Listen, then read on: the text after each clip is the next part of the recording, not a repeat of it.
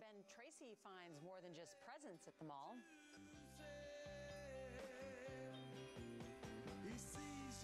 Coming up this half hour, it's been called a dream job. Ford futurist Sheryl Connelly predicts. All right, so tell us the future.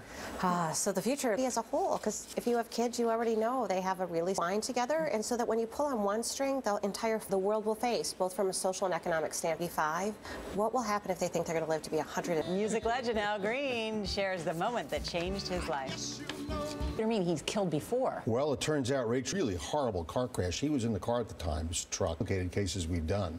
All right, Richard. A was rejecting many of the accusations in a Senate report on interrogation methods used after 9 11. Bob Orr is in Washington. That's next.